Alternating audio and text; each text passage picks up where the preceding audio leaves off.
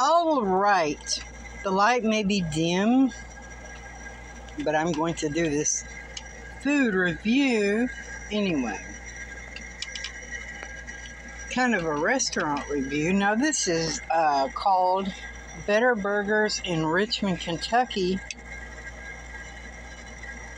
They have some country cooking and stuff like that. So, um, it's gravy, and we've got now I can say this gravy is very similar to what my grandmother made when I was growing up.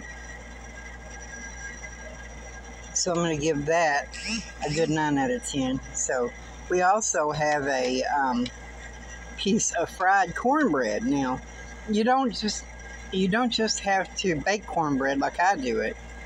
You know, you can fry cornbread.